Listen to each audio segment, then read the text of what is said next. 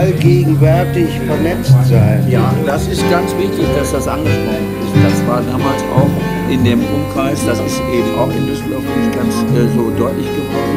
Das heißt, nicht nur in Düsseldorf war die Keimzelle von Padenol oder Minus Delta T, auch Padelun und Renald Tangens von Art d'Ameublement aus Bielefeld, die damals schon mit dem Mausnetz, ein weiter Vorläufer vom Internet, äh, gearbeitet hatten. Wir hatten alle zusammen eine ganz fruchtbare Zeit, wo wir sehr, sehr viele, natürlich auch Chaos Selbstständige, Chaos Computer Club und so weiter, was dann alles entstanden ist, wo wir etwas ausprobieren konnten.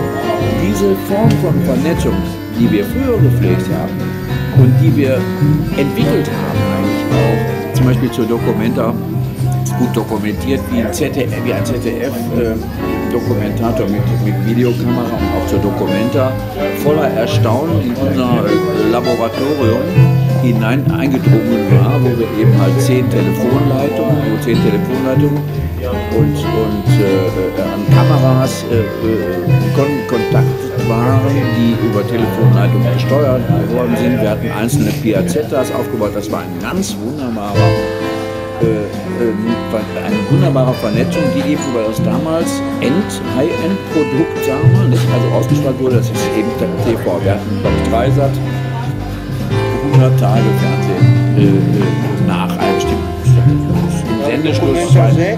Das weiß ich jetzt nicht mehr. Das sind ja, wir hatten ja mehrere. Hotel Pompidou, Van Gogh TV war das, äh, das war Minus Delta T. Wunderbare Arbeit.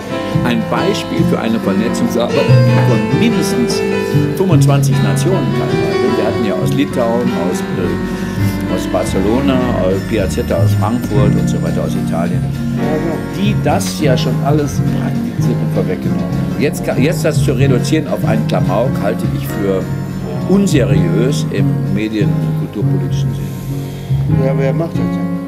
Auf Ja, die, das ist sicher, weil, weil, weil das einfach problematisch ist. Jetzt eine gemeinsame Arbeit, wie eben von Padet Noll angefangen hat, äh, überhaupt zu übersetzen. Ne? Heute ist Pflicht Nummer eins, okay, und Gilbert und George, aber das, was wir gemacht haben, ist ja längst nicht übersetzt, weil wir hatten das ja offen gelassen.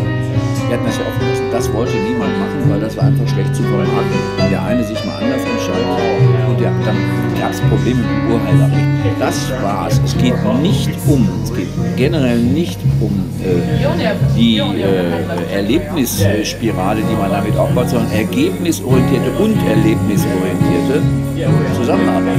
Die ist ja äh, nicht nur dokumentiert, sondern die ist noch nicht, das Problem, rezipiert. Deswegen schwimmen wir hier noch im, im Unklaren, in unklaren Gewässern und glauben, die vielen Leute glauben an, äh, an die Einzeltäterschaft und äh, man wundert sich über die Ergebnisse. Was passiert daraus, wenn man eben Second-Hand, äh, Third-Hand Emotion als stilisiert als das Maßgebliche?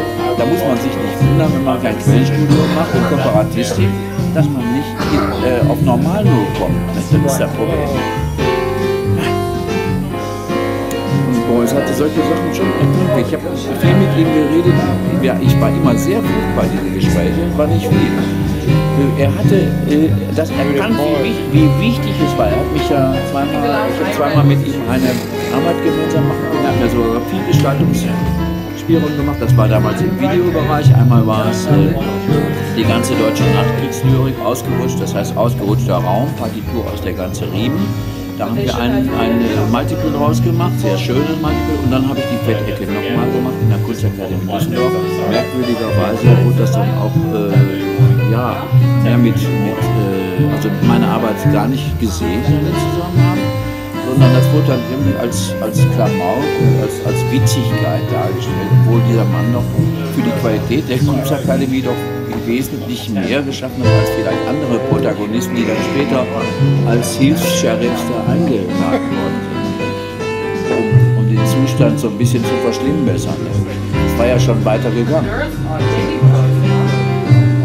Große, große, großes Problem war damals auch die Grünen, weil die eben halt auch diese, diese Mode, diese, das als Mode erkannt hatten, da politisch im, im Modell zu stehen für irgendwelche Ideen, die sie nicht einmal selber vom Grundsätzlichen her entwickelt haben und dann eben halt untergegangen sind eigentlich in der Selbst, äh, und Selbsterfleischung von äußeren Ideen, aber ganz pragmatisch einfach nicht mitarbeiten konnten, weil sie eben auch kein Quellenstudio betrieben haben. Die haben ja den Josef Beuys einfach äh, wieder rausgeschmissen und damit haben sie, einen, da haben sie ihrer Partei einen ganz, ganz dämlichen Dienst erwiesen. So ist es häufig. Die wirklichen Protagonisten werden ausgeschwemmt und das, das Wesen äh, wird dann eben halt zwar, es erscheint lustiger, aber es ist trotzdem nicht triftiger. Uh, Gomez, yeah, was it? Gomez, again, yeah. Uh, Gomez. Sido. So, das reicht hier so für Quellenstudio, kooperativ. and